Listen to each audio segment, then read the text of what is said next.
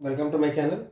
So in this video I am going to discuss the topic as ASM chart. ASM chart.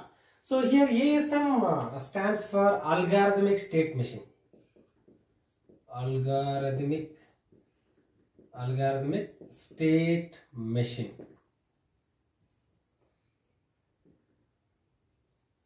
Algorithmic algorithmic state machine. So this ASM chart is a special type of uh, flow chart for a hardware algorithm. So it is used to describe the hardware algorithm. Okay, so that is one type of flow chart. Okay, so it is mainly used to describe the sequential operation of a digital system. Okay, so this is the basic definition of algorithmic uh, state machine. So here uh, the ASM chart notations are there. So ASM chart notations. So ASM chart ASM chart notations. So there are three types of notations are there. One is the state box. The state box. This is the first notation. And the second notation is decision box. Second notation is decision box. And third notation is and third notation is conditional box and third notation is conditional box.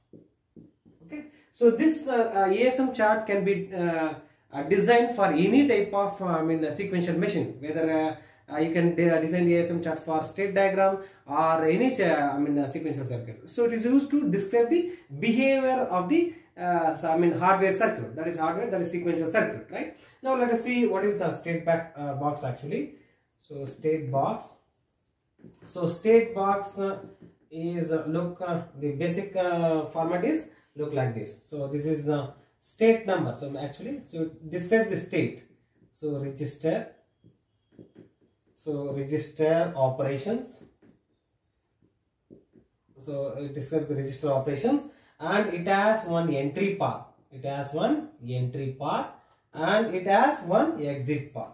It has one exit path right so and also it is we're going to uh, discuss what I mean state name, state name and binary code and binary binary code for the particular.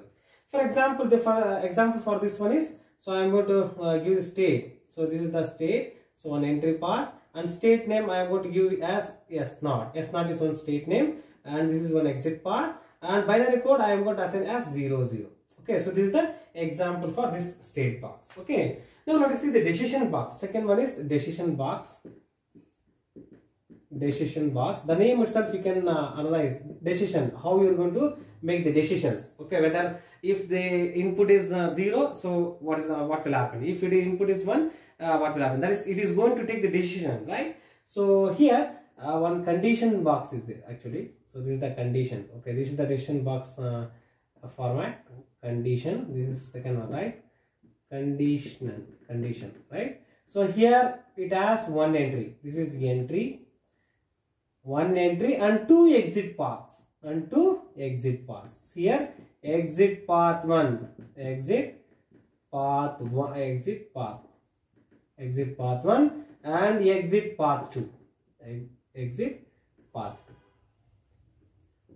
so, there are two. So one entry and you are having exit path. Either it is 0 if it is 0 means that is exit path 1 if it is 1 means exit path 2 so this is the uh, basic structure for I mean uh, decision box. Okay. Now the third uh, uh one is that is uh, uh, last one. Third one is conditional box. Conditional box. Conditional box is mainly used to describe the output. Okay. Output of the given state diagram so the representation is look like this. Okay. So look like this. And here output produced. Output produced.